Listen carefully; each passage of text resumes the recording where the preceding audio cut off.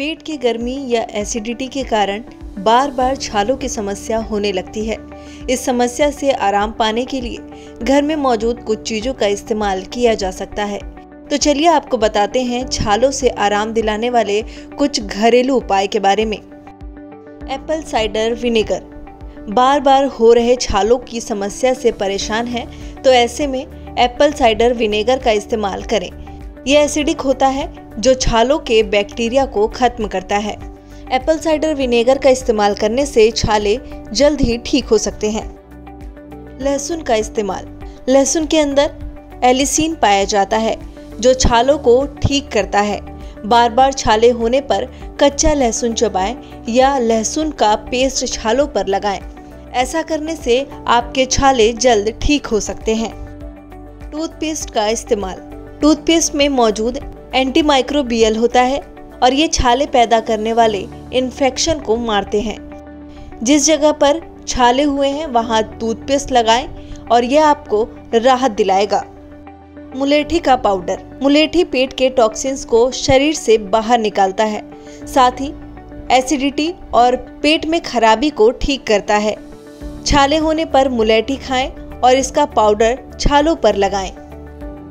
शहद का इस्तेमाल। मुँह में बार बार छालों की समस्या होने पर शहद का इस्तेमाल फ़ायदेमंद हो सकता है।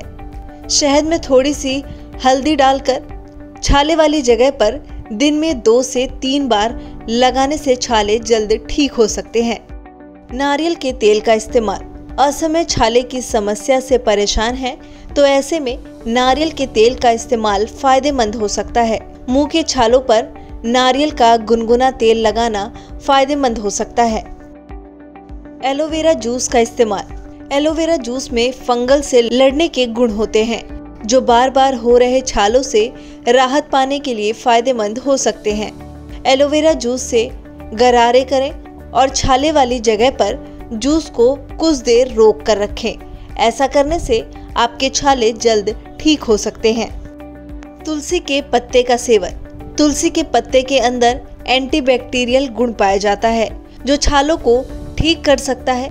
छालों से राहत पाने के लिए तुलसी के पत्तों को चबाना फ़ायदेमंद हो सकता है। अगर आप भी बार बार होने वाले छालों की समस्या से राहत पाना चाहते हैं तो इन घरेलू उपायों से आप जल्द से जल्द अपने छाले ठीक कर सकते हैं।